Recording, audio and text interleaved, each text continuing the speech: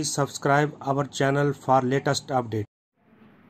मुख्यमंत्री जयराम ठाकुर ने मंगलवार को सुंदरनगर विधानसभा क्षेत्र के लोगों को करोड़ों रुपए की विकास योजनाओं की सौगात दी। मुख्यमंत्री सुंदरनगर क्षेत्र के विकास को समर्पित 41 करोड़ रुपए की विभिन्न परियोजनाओं के मंगलवार को शिमला से वर्चुअल कार्यक्रम के ज़रिए ऑनलाइन शिलान्यास व उद्घाटन किया। इस मौके पर जल शक्ति मंत्री महेंद्र सिंह ठाकुर व विधायक राकेश जम्वाल, सामुदायिक भवन सुंदरनगर में मौजूद रहे। इस मौके पर मुख्यमंत्री जयराम ठाकुर ने शिमला से ऑनलाइन लोकार्पण किया।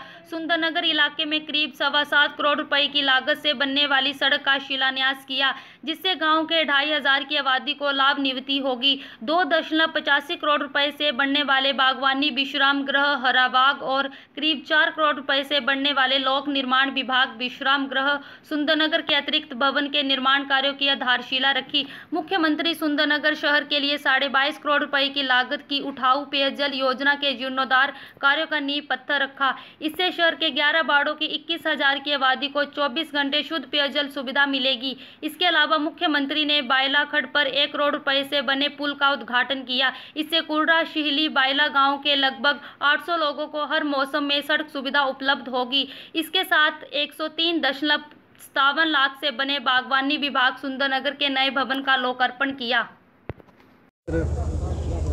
मैं आज सात बड़ी परियोजनाओं का विधिवत रूप से शिलान्यास और उद्घाटन हुए जो है माननीय मुख्यमंत्री आदरणीय ठाकुर जयराम जी के वर्चुअल अभिभाषण से हुआ है। उसके लिए स्थानीय विधायक राकेश जम्वाल जी को ढेर सारी बधाई, हार्दिक बधाई, क्योंकि पैंतालीस करोड़ रुपया वर्चुअल मीटिंग के माध्यम से हासिल करना एक बहुत बड़ी उपलब्धि है।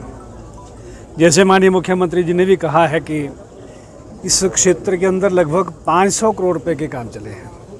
और उन 500 करोड़ के कामों में से 200 करोड़ के काम जो है वो जल शक्ति विभाग के हैं और 100 करोड़ के काम जो है लोक निर्माण विभाग के हैं।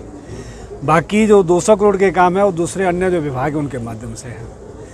आज से पिछले जितने ढाई वर्ष का कार्यकाल ठाकुर जयराम जी के नेतृत्व में और यहाँ के स्थानीय विधायक राकेश जम्वाल जी के अचक प्रयासों से जो है वो उन सभी कार्यकालों के ऊपर जो है वो भारी पड़ेगा।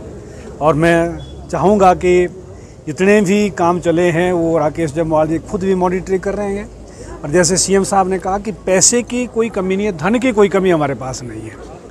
भले ही जितना मर्ज़ी कोरोना आ जाए, धन हमारे पास पर्याप्त मात्रा में उपलब्ध है। और मुख्यमंत्री जी के नेतृत्व में लगातार जो है विकास की इस गंगा को आगे बढ़ाएँगे, आगे तक ले जाएँगे। विकास किसी भी हालत में रुकने नहीं देंगे। सर मंत्री ने कहा कि मिनिस्ट्री ऑफ़ होम अफेयर जो है, वो अभी तक इजाज़त नहीं दे रहे हैं मुख्यमंत्रियों को कि आप अपने प्रदेश के अंदर जाएँ और वहाँ पर कोई ना कोई कार्यक्रम करें। तो फिर मुख्यमंत्री ने एक नई रास्ता निकाला कि हम वर्चुअल ऐसी मीटिंगों के माध्यम से जो है, वो नई स्कीमों का शुभारंभ करेंगे, नई जो ऐसी स्कीमें पूर्ण हो चुकी हैं, उनका उद्घाटन